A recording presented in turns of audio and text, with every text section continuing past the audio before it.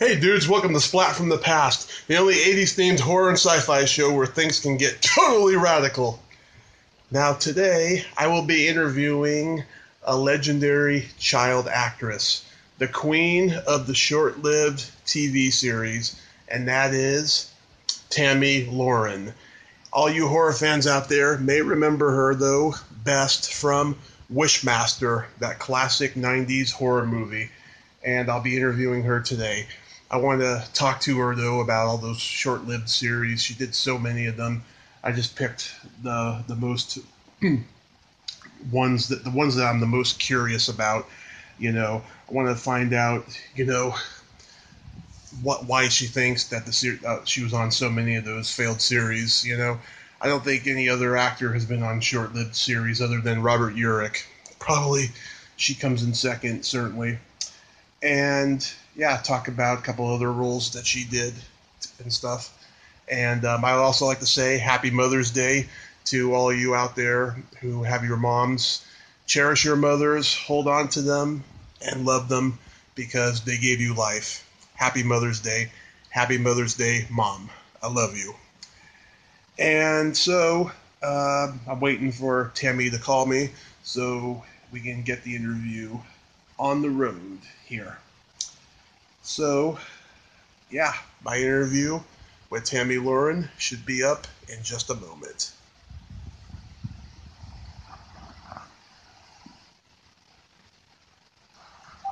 Hi, Tammy. Hi, Tommy. How are you? I am just ecstatic. How are you? I am good. I'm not ecstatic, but I'm, I'm doing decent. I would say that for sure. that is great. Well, thank you so much for taking the time. To me, you're like the, the queen of, of the failed TV series, and it's not even your fault. I want it on my grave. That is awesome. Tommy, that's awesome. Thank you. Yeah, I don't I don't think anybody else has had that title other than Robert Urich. Robert. No, it's, it's true. Ah. Yeah, I mean, growing up watching you with your various hairstyles, it, this is just so awesome. well, good. Thank you. I'm happy to do this. My pleasure. And you're my 90th interview. I'm 90. Yep. That's awesome. so, did you get into acting because your parents were in the business? No, they weren't in the industry at all. No, it started because my dad wanted me to go to. I, he, I think he was thinking it was going to be like a modeling school, but it was actually like this little acting sort of class for commercials and whatnot. In in, uh, uh, but it was adjunct to the theater. And then they had me audition for this play down there, and I got this play, and my parents went, "Oh, we should get her an agent." So they got me an agent. Nice, nice. Well, you were certainly adorable for it. Um, Thank you. were you were you a tomboy growing up? I so much was. I so was, and it, it's almost. I mean, I did get to play some tomboyish roles, but not many. Yeah, I think they left that to um, Quinn Cummings. God, she was great at it, though. No, she was more the sardonic, too wise for her years, precocious child. Right. Who, no, Kristen McNichols was the tomboy. Oh yeah, she certainly was. Yeah. Yeah, and then um, your first series uh, was uh, Angie. No, it was actually called Who's Watching the Kids. Oh, was that the first one? Yeah, Angie came after that. Okay, let, let, let's start with Angie though. Okay. So you did so you did Angie, and you worked with Donna Pescow from Saturday Night Fever, Yes. and Robert Hays, who I met, very nice man. I love him.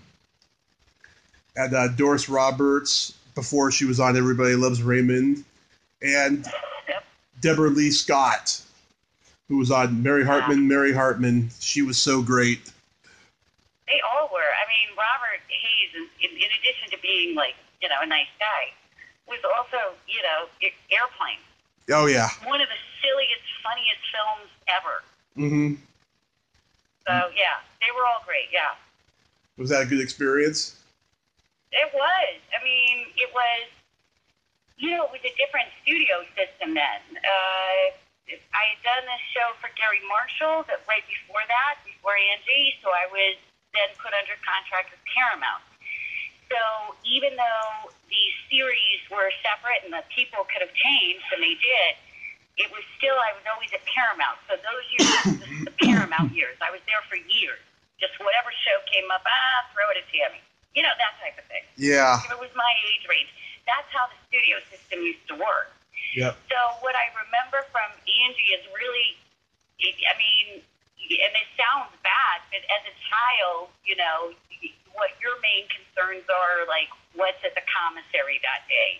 Uh, like my set teacher, I'd have, you know, these bonds and these, you know, with my set teachers. Uh, the other kids that were on the lot at the time, like Yeah. like Little House film there. So all those kids were on the lot, like the Happy Days kids. So all the so my memories were mostly about those Paramount related things. Everybody on Mhm. Angie was obviously great, but they were obviously not going to have a lot to like you know hang out and talk to an eight year old about or nine. I think it was nine. You Mhm. know. I mean, what are they really going to talk to me about? Like with Donna having just done Saturday Night Fever, she was horrified when she found out I saw it. really? She was just horrified. No, that's too mature for you. you know, but we didn't know. I mean, I was trying to, you know, my parents were trying to show me who my co-stars were. You know, Donna, and you know, it was Saturday Night Fever. It was pretty mature. Yeah. That's my mom's favorite movie, and her name is Donna. Oh, is it? Yeah. It She was a great film. yeah, she she's been wanting to be You know. she's been wanting to be Mrs. John Travolta since she was like 18 or whatever. Oh yeah, well, you know, and I've worked with John quite a few times. I mean, a few times. Yeah. And uh, but I first met him back then when I was when I was doing Angie. I don't. I think he was doing Urban Cowboy. Yep. He, yeah, he was. He was doing Urban Cowboy. Yeah, Yeah. that was the first time I met him. So yeah, every woman had that fantasy then. He was uh, yeah. so such a big star. I mean, you know, for me it was Grease, but yeah, he was huge. Oh, she loves Grease too. I mean, she used to watch it over and over again when I was a kid.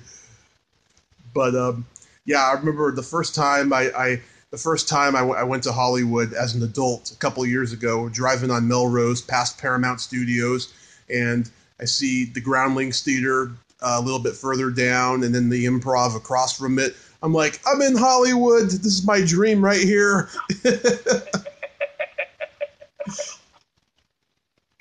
Yeah. So, so then uh, you you so first one you did had, was uh, who's watching the kids. Now you had, you had been on an episode of Mork and Mindy. Is that how you got it? No, it was reversed. Um, Robin, actually, Robin Williams, Yep. uh, was obviously doing a lot of stand up then. And one of the things that a lot of guys that were, and still do, that are trying to break into stand up do is they do warm ups for sitcoms during their taping days. So Yeah. they're taping the show, and in between takes, you've got the warm up guy in the audience, usually a stand up comic, to keep the audiences laughing and entertained. Robin was doing that on that show, Who's Watching the Kids? This was Jim Belushi. It was like uh, Scott Baio. It was all those people. Garry Marshall. And Garry Marshall was already wanting to do this Mork and Mindy show. He wanted to do something with Robin. Right. So after Who's Watching the Kids was over, I went and I did an episode of Mork and Mindy, uh, primarily because uh, Robin, I already knew him, hmm uh, I guess. Again, we're talking about a kid, so as much as a kid can get to know anybody. And and uh, and then that show was right before Angie. And in fact, when they aired, they aired one after the other, didn't they? I, I think I want to say that I think Angie so. was right after Mork and Mindy. Yeah, I think so. Yeah, don't quote me, but I think so too. So it was sort of like it's, it's kind of what I mean about those Paramount years. If something came up in your age range, they they generally try to have you do it because they were paying you anyway. hmm And uh, So Jim Belushi was on the series. right, exactly. Mm-hmm. That was his first uh, like series. hmm What was he like? Well, you know, John Belushi was still alive then. Yep. So I would say he was. I don't know. Um, he's a, he was a great guy, obviously very down to earth, but it it, it was sort of a large uh, thing, you know. I mean, John was doing it. Jim Belushi had done Animal House. He was huge, Yeah. and Jim, I I, I don't know. As a child, there was certain. He just seemed more nervous to me than most adults I was used to working with at that point Yeah. you know, like Scott Baio had done a lot of this, so he was very relaxed. Everybody on the show was pretty relaxed, but Jim was pretty nervous, and I don't know. I, I think he had a lot of pressure on him. Yeah. As funny as John. Because he was he was living in his brother's shadow at that time, mm-hmm. so Yeah. it, it it took him a while. I think he I think I think he fully got appreciated after his brother died, which is sad to say. You know. Yeah. Yeah, and even that was hard for him too. Yeah. hmm So, yeah, it was. It was. Um, it was very. Uh, it was a very different time, you know, and and obviously people's careers have changed so much. But then, yeah, he was living under. I would say John Belushi a little bit. Yeah, a lot of pressure there. Mm-hmm. And then, and then you did Out of the Blue with Jimmy Brogan, who's an underrated underrated comedian. I believe so too. Yeah, he's, he still opens for Jay Leno every Sunday night at the Comedy and Magic Castle or uh, Magic Club in um, Hermosa Beach. Oh, I know. You know, we're friends on Facebook. Mm hmm so we'll PM each other. Oh no, yeah, I'm, I'm still friends with Jimmy. You can't not be friends with Jimmy. He's amazing. He's very funny. yeah, he's a very funny guy. And uh, you know, he played him on Mork and Mindy, so that was kind of a spin off. Yes, yes. And you got to work with Dixie Carter. What was she like? She was well. I mean, she was funny in that dry way. Um, you know, Dixie Carter had a very dry sense of humor, hmm and I, I, I just remember mostly being fascinated because the way you read it was not the way Dixie would say it. Does that make sense?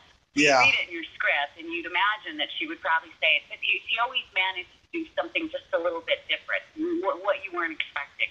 I think Dixie was a really, really talented comedic actress. hmm She sure proved that when she was on Designing Women. Yes. And Clark Bra- Clark Brandon, whatever happened to that guy? Oh, we're friends on Facebook too. Um, let's see. Um, well, he was he went through the teen heartthrob thing, Yep. which is super difficult, you know, for a lot of people to bounce back from. Mm-hmm, yeah. because you you're sort of I don't know how to describe it, but I feel if you get kind of locked into that, it can be difficult to sort of break out of a you know this very strong preconceived notion of who you are. Yeah. Like Leif Garrett, look at him. yeah, exactly, the exact same thing. You know, huge sense, but you know, and it's difficult. Yeah, I mean, even when it, even when he lost his hair, it didn't make any much difference. Yeah. you know. But yeah, I remember Clark Brandon. He he, he wrote a he wrote and starred in a movie called Fast Food in the late '80s, and that's like probably one of the last big things he did. Right. And of course, I think he. Yeah, yeah. Go ahead. and, and of course, Olivia uh, Barash. She was in the classic Repo Man. Right, exactly. Exactly. Yeah, Olivia was, we were probably the closest in age, or Mhm. maybe I just thought that she was the closest girl of my age. So I liked working with Olivia because it was, it was nice to have, I like doing Out of the Blue in general. It was nice to have kids on the show with me. hmm I wasn't the only kid. I like that better. Do you think the show had a spiritual message to it? God, I don't think so. Um, it was more just wholesome messages. I wouldn't say it was spiritual, but I would say that they were definitely shooting for a wholesome family show. Yeah. And then you you got to do a um, Disney adventure movie called The Flight of Noah's Ark. Right. What was what was that experience like? It seems like doing a, a pirate movie would be kind of of uh, torturous. it would be what? It would be kind of torturous because you know you're you're just working all the time doing a movie on a ship. Yeah, it was it was a lot of fun though because we were in Hawaii, mm-hmm. you know, for months, you know, so that you know doesn't suck, and you know it was, and Ricky and I, you know, we I we're still affectionate with each other because of that. I mean, it was he had just done the champ, and we were, you know, little kids on Hawaii. You know, the, the, the biggest excitement of our day was when they'd open up a coconut or something on set. Yeah. You know, it's kids you know in Hawaii. The big thing about that is the director of that movie. I worked with him again years later um, but he actually ended up marrying my mother. really? so there you go. There you go. Yep. So he's your stepdad. Hmm? So he's your stepdad. No, they married when I was older. So he's just he's just the dude that married my mother. Okay, so he became your stepdad later. No, no, he never became my stepdad. They they got married when I was already an adult. I was already well out of the house. But but it, but it doesn't count as your stepdad. No, I don't think so. Uh, I think that's like if they're kids. You know, it's. I, I mean, that's how I see it. I don't know. That's how I always refer to him. Because I refer I refer to my dad's wife as my stepmom. They got married, I think, when I was 18, and I've known her since I was 14. So. Gotcha. Yeah. And that's, that's Charles Jarrott, right? Yes. Yeah. And uh, working with Elliott Gould was fun. And I'm sorry, Elliott Gould was the what? Working with Elliott Gould was fun. Oh, Elliott is the best. He was always. I mean, he's he's just a great guy. He and he likes kids and he likes being silly and he likes. Uh, I don't know. I just imagined him to probably be, you know, a fun dad to have but he was definitely very uh, playful and, and, and good with us, you know, when we were kids. So I liked Elliott a lot. Well, Olivia was more, um, you know, uh, reserved, I think, because um, this was sort of, well, first of all, you know, she was, um, I can't remember where she was from. She always had that amazing French dialect. You know, that's she was, you know, very popular as well at the time. Um, she was just more reserved. Oh, Genevieve. Did have a son my age, but she was just more reserved.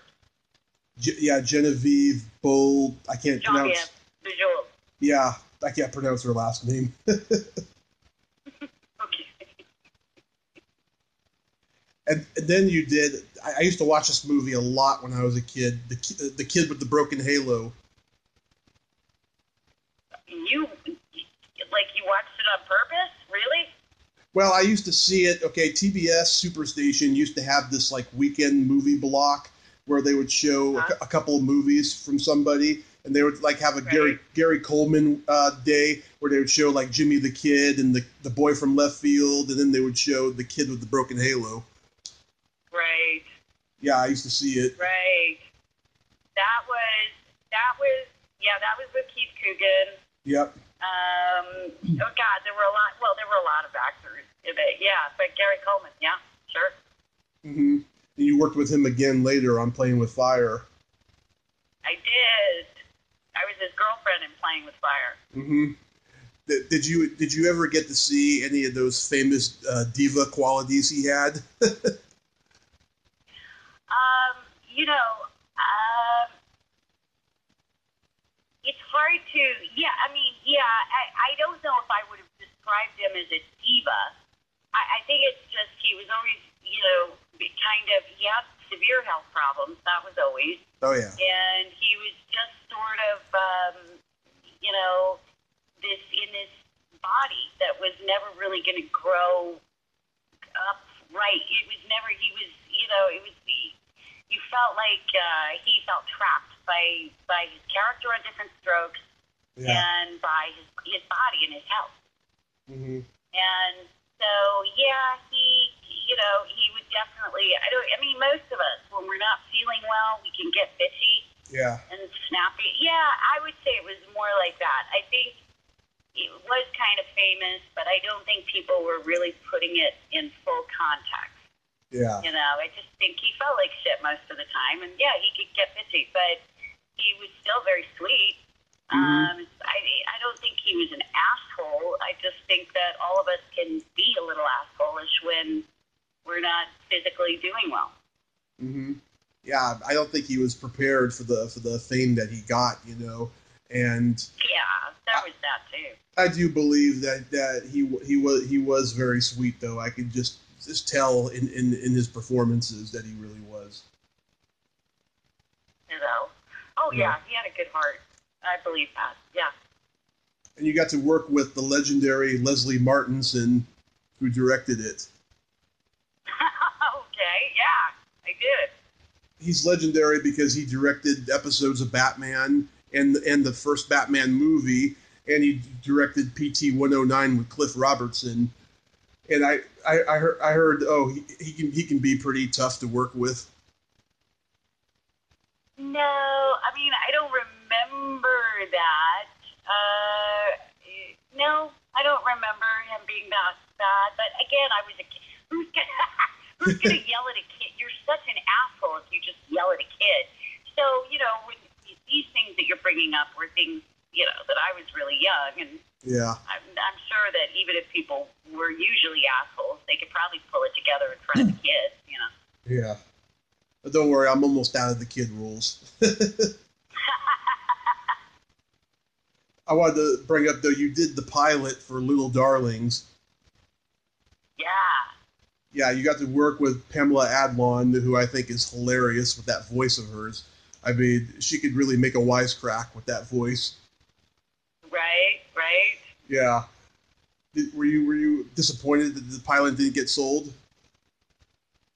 This was, I'm sorry, Were you disappointed? that, yeah, they did never sell it. It was actually, I think, I don't even think it was, uh, I don't even know if they aired it. It was more of like a presentation for the network, Mhm. but it didn't get picked up. Yeah, that's sad because I, I love the movie and I'm sure the series would have been pretty good. It was, I mean, in all honesty, it was, the, the reason the movie was good is because they were sort of tackling those teenage type of things, but when they did it as a series, they tried to clean it up and make it very wholesome again, and the concept didn't work as well like that. Yeah. So, in all reality, I, I kind of understand why they decided that. Don't tell Pamela that. If you talk to her- no, I, I actually think she would agree. I, I actually don't even think she'd be upset.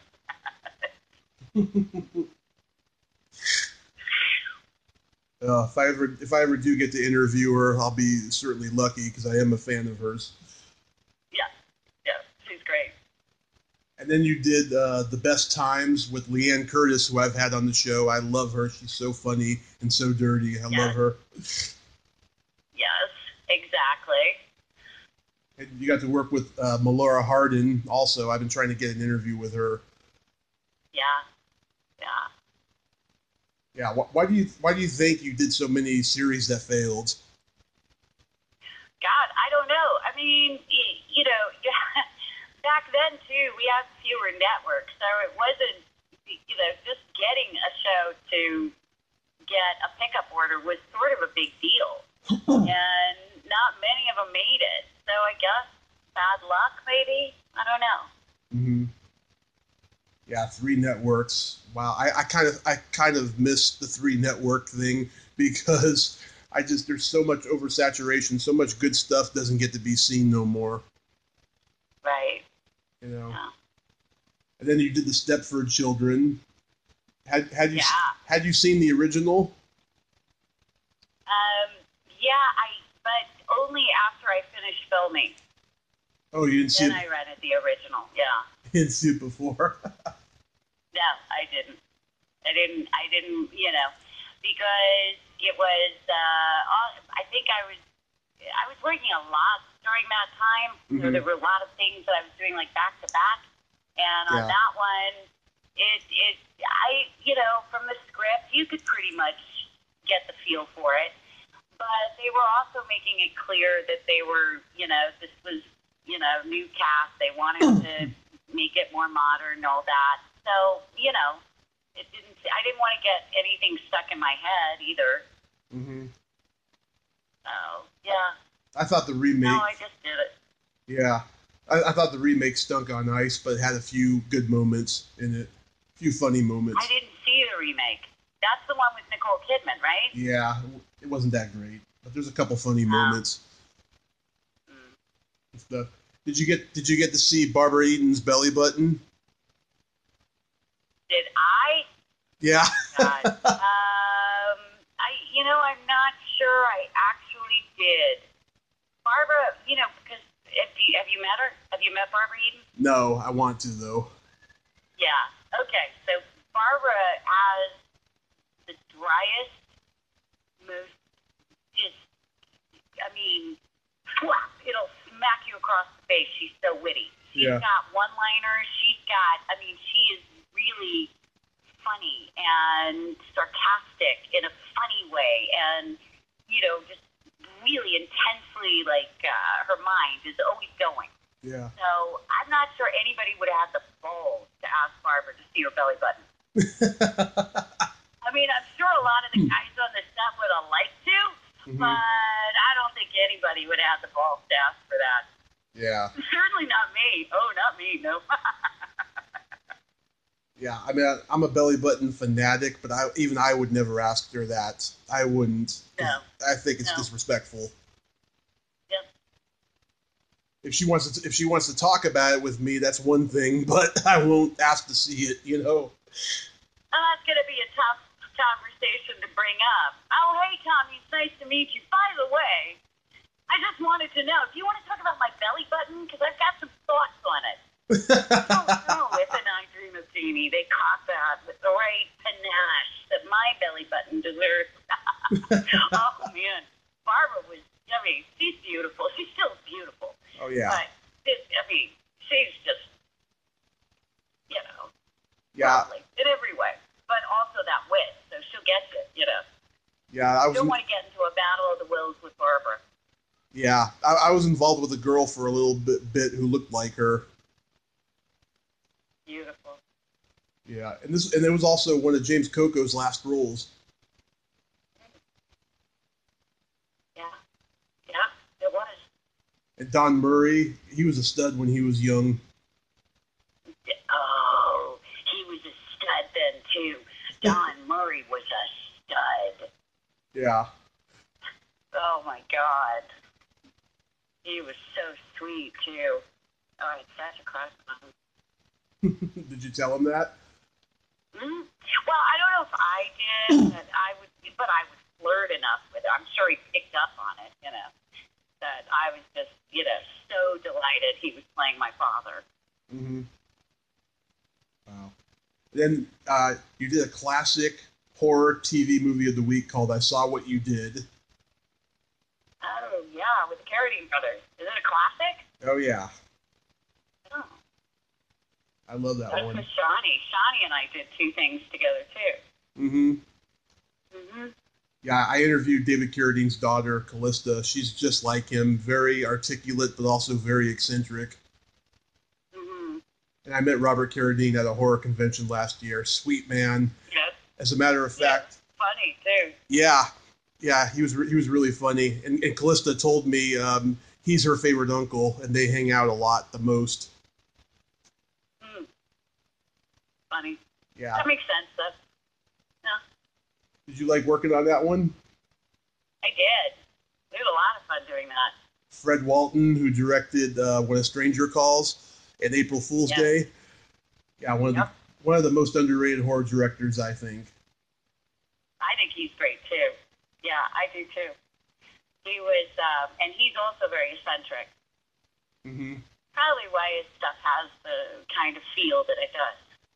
Yeah, I have to agree. He's very idiosyncratic. It, um, then you did the people across the lake. Right. Valerie Harper. right. hmm Yeah. What was she like? Oh my god. Like, I mean, okay. kind of like, um, okay, I, oh, there's a big truck passing. Okay. Here's what she was like. hmm Like, like she was making fun of all the characters that she had ever done, like right in front of you. It, it's almost for you. She Uh, would always keep people entertained. She was just so funny all the time. So it'd be really quiet on the set because we'd be waiting for something, and she would just break out into another one of her characters. That's what Valerie Harper was like. She was just one of a kind. There's nobody. There was.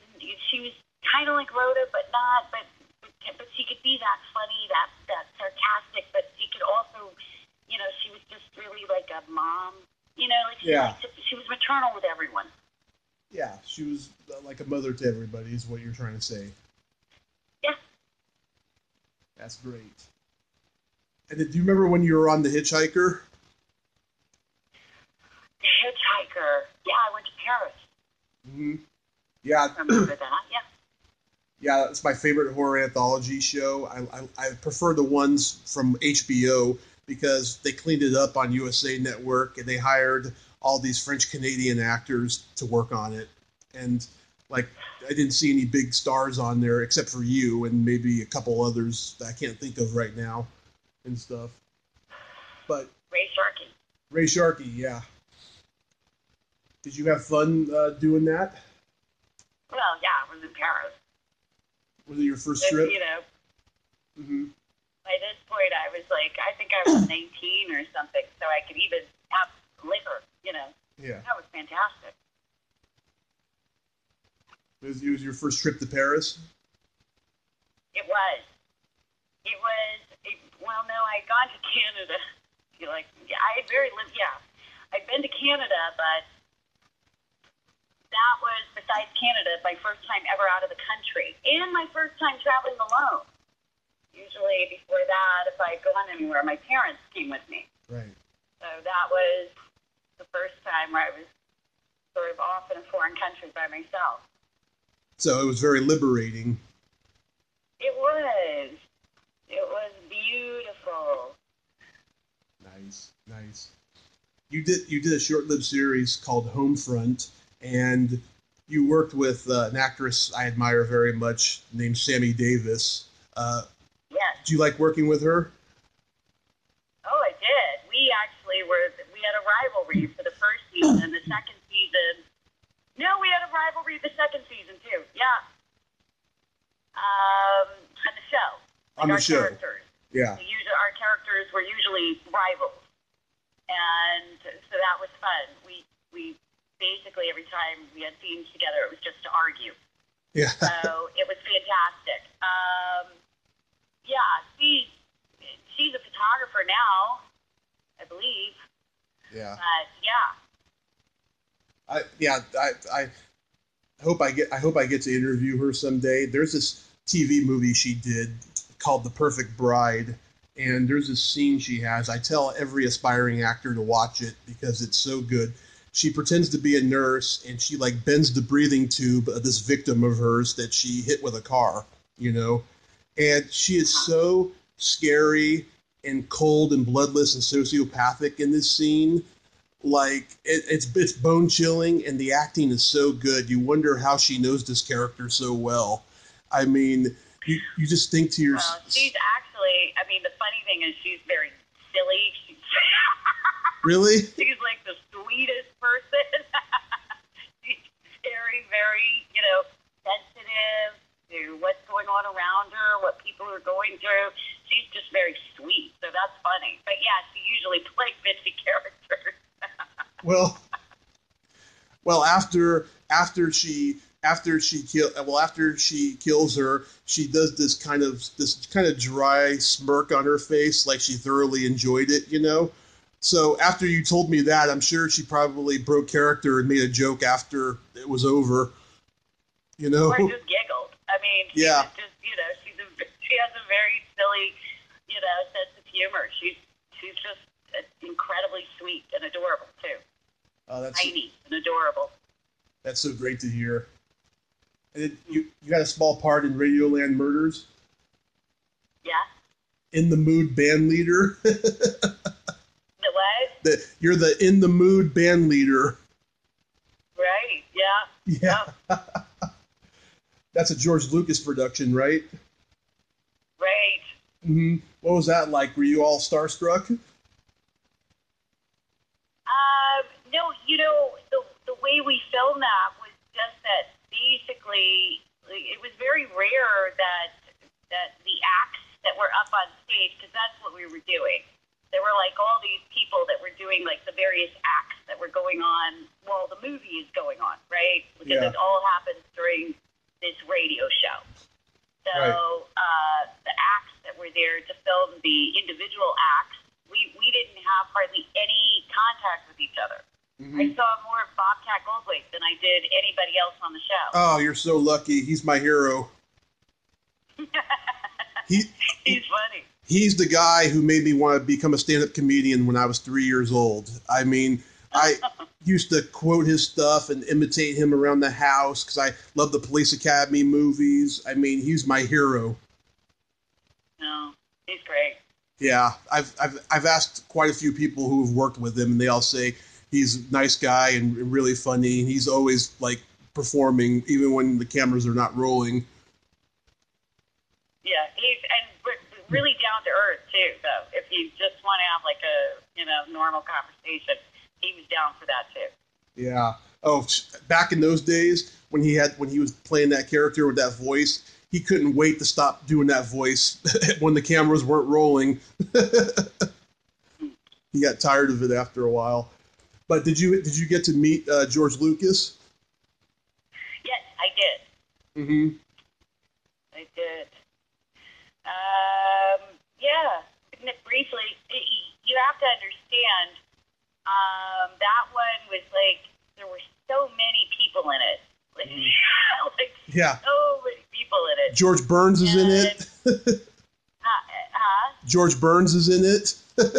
I think so. Yeah, I think it, it, like, yeah, like uh, I mean, but but this such a huge cast, like this massive cast. Yeah. So nobody, and George is very reclusive. He would actually, he had uh, cameras then because we were filming in North Carolina Yeah. stage, you know, to, to view the stage. And it would be, uh, so it was hooked up to where he was in Northern California. He was living in California then. And he would watch it on a live feed. He was doing this then Mm-hmm. so that he could be there and watch all the things that were happening in case he had notes um, without having to actually physically be there. Nice. Yeah, I, I'd be shaking in my boots if I met George Lucas because the man is such an icon, you know. Yeah, but I mean, yeah, but at the same time, certain people, and he would be one of them, are so unassuming and kind of shy themselves that Yeah. it, you, it that goes away real quick. Yeah. I, I mean, I've, I've been lucky with all the people I've met at conventions. I've, I've met some pretty nice people. Are some that I've been absolutely starstruck by, but I'm such a good actor, like I can pretend to, to not be. You know what I mean? Well, that's good. Yeah. No, they probably like it. I mean, look, I mean, stars get starstruck by different stars. I mean, everybody's got their list of people that, you know, they have a higher regard for for one reason or another. So, I mean, that's everybody. But hmm some people are so down to earth and, and normal that even if you were starstruck, you probably wouldn't be for long around them. Yeah. Yeah. Certain people, like I, I meet them again, and I was really comfortable with them. You know, especially when I interviewed them and stuff. Yeah. And Yeah, then- they put you at ease. Some people have that gift. hmm and then the classic Wishmaster comes into play. How did how did that role come to you? Um, ah, I, I don't know what I had been doing a lot of TV, Right. and uh, but I had done no, but I I got that at the same time I got Mad City. Uh Uh, huh. I got two films, uh, and they were going back to back. hmm Wishmaster sort of came up. Um, they put out, you know, they put out a casting call for that role. My agents put me up for it. Uh, Bob was like uh, the most nervous, like first time director ever. and he was, you know, but he was a huge deal in special effects. So it's not like he was, you know, he just showed up out of nowhere. And, you know, Peter, the guy, it's all these people that were involved, you know, he wanted to do something that was more uh, classic horror. right. So this was back in late 90s. So classic horror to Bob meant like what, 70s, 80s? Yeah. I think that was his idea of classic horror. So he was really going for, he wanted gore, he wanted jump shot, he wanted everything that was classic horror. and uh, uh, for whatever reason, that I, I'm not sure. I mean, I know he liked that I was kind of tomboyish, Yeah. so maybe that worked in my in my favor then. But for whatever reason, I fit his concept of what that looked like. That's basically it. Bob, Bob's the reason I got it. Nice. Yeah, I, I go to horror conventions quite frequently. I have the last two years. The only one I've met in the movie is Kane Hodder, and Yeah, Kane. oh my god! So I'm getting an autograph from the the first guy who played Jason, um, Ari Lehman, and he's signing my DVD cover. And Kane comes up and pinches his elbow, and he smears the L across my my cover, right? and I'm like, okay, Kane Hodder's got a very long line, and I'm like, if I meet him, if I don't get to meet him this weekend, I'm going to count that as his autograph. but then I did, I did meet him two days later, the last day, and he was so much fun and such a nice guy. Yeah, he's great. I, I tried to Yeah, meet. we had we had horror icons in Wishmaster. True icons. Yes. I, I tried to meet Robert Englund that weekend, but his line was out the door, and Yeah. he was charging a, a lot more money for an autograph and a picture than I, w- I, I could spend that weekend. I'm going to try to meet him at this one Comic Con next month, though, that he's coming in Sacramento. Um, I tried. To, Oh, that's great. I tried to meet. Love Robert. yeah, he's a very nice guy, and we had the same birthday, June sixth. That's funny. I tried to meet Tony Todd that weekend, but his line was out the door. And I, I, I almost went to this one con last month to eat Andrew Divoff, and I didn't get to go to that. Uh, Ted Raimi was at this one con I didn't I didn't get to meet him at, and then Angus Scrimm died before I could meet him. Hmm. Did you like working with Yeah. Did you like working with Jack Lemmon's son Chris? Yeah, I did. I like working with everybody in Wishmaster. I mean, Mhm. Ted, all the people you just mentioned, Andy, Ted, Kane, Robert, all of them, Tony, Todd, Candyman, all of them. It was, it was the guys that, first of all, because they were all icons. I mean, he, the, the Peter, um, um, the, our screenwriter, why is his last name? Uh, for Wishmaster. Let me look What it up here. last name? Let me look it up here.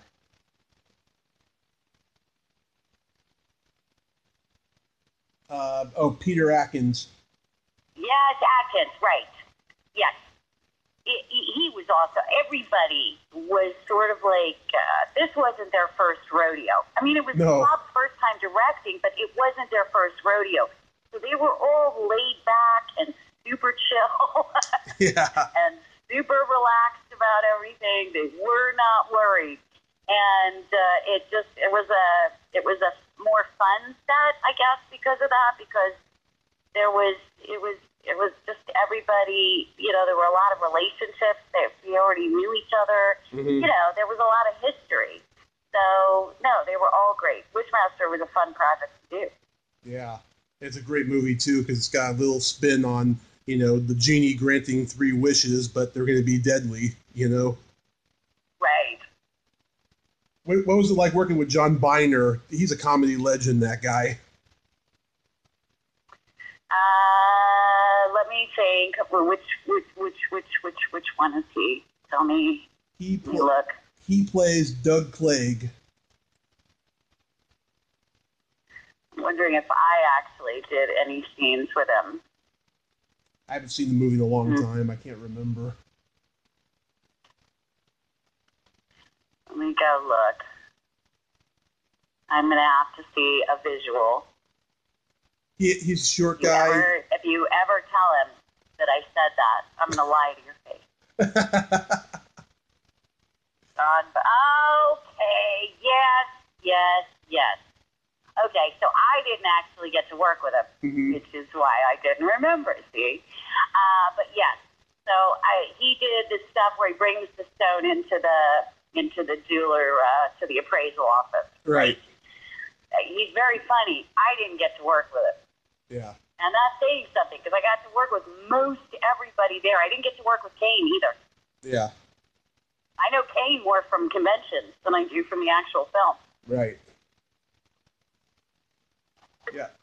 Yeah, it's funny. John Byner got casted because he, uh, he was a celebrity impersonator on the Ed Sullivan Show back in the '60s, and he's a really funny guy. Yeah, funny. So, are you at your most comfortable when you do television? Um, no, because that's not.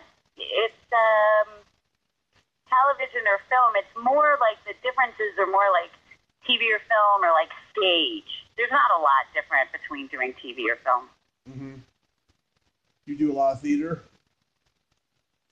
Um, not anymore. I haven't for a long time, but when I did, that was basically the kind of what I started in, Mm-hmm. which is, you know, kind of funny because I ended up on a sitcom right after that where all those all those habits got thrown out for, you know, sitcom habits those days. it was basically, you know, holding appropriately for the laugh. Nothing wrong with that. You know, you, you, you go where the work is and you excel in it, and you certainly excelled in that. Thank You Do you, do you have any upcoming projects you'd like to plug? No, I you know I went into tech. Um, so I have a tech company. We're just opening a production arm, but it's more geared towards social. We're doing a lot of digital distribution coming up, and I'm trying to. We're also trying to incorporate cryptocurrency as a funding leverage for young filmmakers. Right. That's good. I mean, what made you um, decide that you were going to get into that field? Um, you know, I um, I think that it's great. You know, one of the great things about being a child actor is, you know, you you've got to see a lot more than most people that age do. One of the bad things is is that you don't really explore other interests. The entertainment industry can kind of take over your life. Right. So sometimes that's great. If you're working a lot, that can be fine. But, you know, if you have other passions or you have other things you want to do, sometimes you have to kind of make a clean break for a while to do them. Otherwise, it gets very difficult because it's a relentless kind of thing. Right. You have any uh, convention appearances coming up? Not, no, I don't think I do. Not anything, anytime, even remotely soon. No. Well, if you do, I if it- you're in California, I'll, I'll certainly try to make it because Well, that's great. because I've loved talking to you. You're not only a sweet lady, but you're a true tomboy if ever there was one. You. I I've been hanging out with tomboys my whole life. Like all my friends growing up were girls, and they still are. And because I spent a lot of time with my mom, my grandma, and my my female cousins growing up, so like I get along better with women than I do with guys. You know? That's funny. That's funny. Yeah. And and you're one of the few child actors that didn't get fucked up like so many of them did. Oh well, now give it a minute. You know, I mean, you know, no, I yeah, I mean, we're all a little bit fucked up, but you know, it, some kind of fucked up, you know, can still turn out okay. I, you know, it's tough. I Yeah. think child actors have a tough thing because it's weird to come down off something like that, and then you got to make a transition. You're basically talking about starting a brand new career. Right. You know, it's tough. I, I think this the key thing to to having a child, uh, having your own child be an actor is just be around the entire time and give them attention. That's all they need. You know? Yeah, it, it, it's uh, it's competitive. Uh, so it's it's I would if, if I could add on to that, I'd say that you probably want to stress uh, other strengths they have besides just acting or whatever else they're interested in doing. Do you know what I mean? Yeah. Uh, play up their other strengths as well. It's a very competitive industry, and Of that course. can take a toll on anybody. Of course. But what what I mean what I mean to say though is like, you know, when they do get the work, you know, just, you know, it's one thing to be a working parent, but if you're a parent if, if there's one parent that doesn't have a job, that parent should be on the set with them and be around them 24/7 and not let any adults be alone with them. You know what I mean? Oh, right. Well, yeah. Yeah. I think that's the, the, the one key to being a successful child actor who doesn't grow up to be completely fucked up, you know? Yeah, yeah. I mean, and it gets difficult because when they're teens, just like regular teens, you know, they don't want to necessarily be with their parents 24 7, right? So, in a lot of the child actor stories where things went bad, that was about the years that it started happening.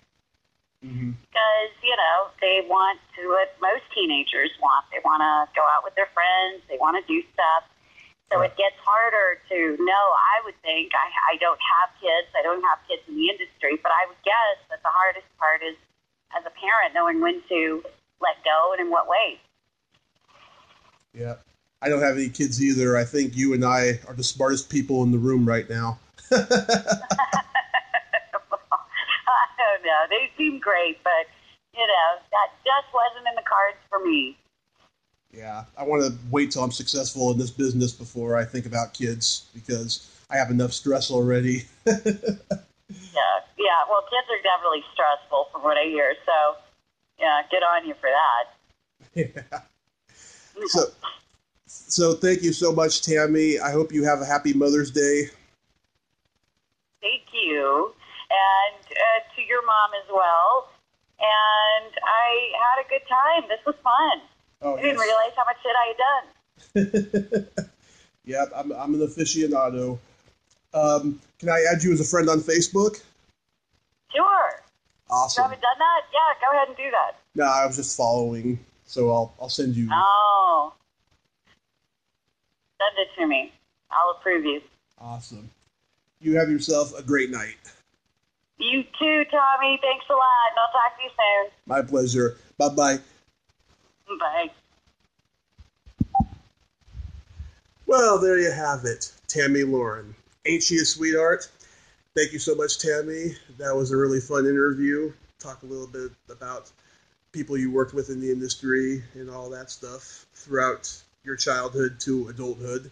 Um, if you like this video, please subscribe to my YouTube channel, add me as a friend on Facebook, follow me on Twitter, and all that fun stuff. Enjoy my Tommy Kovac comedian page. Well, that's all the time we have this week on Splat from the Past. Until next time, this is Tommy Throwback Kovac saying, There's no shame in living in the past because the present sucks. Later, dudes.